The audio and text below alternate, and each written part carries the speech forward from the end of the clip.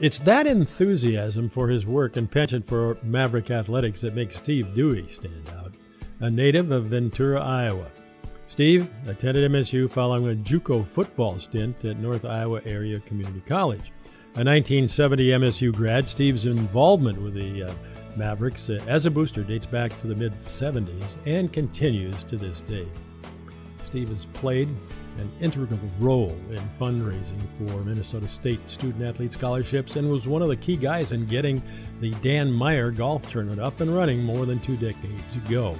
This important vehicle has combined to accrue, get this, more than three quarters of a million dollars directly benefiting young Maverick student athletes.